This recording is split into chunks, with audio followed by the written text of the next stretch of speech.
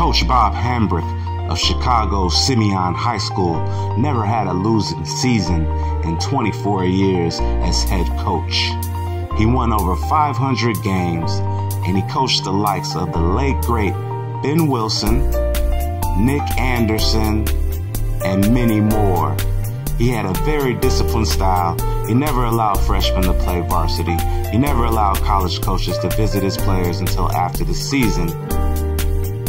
Coach Tim Bankston of TF North and former player throws a tournament in honor of his coach's name. Rest in peace to Bob Hambric, one of the greatest coaches of Illinois high school basketball.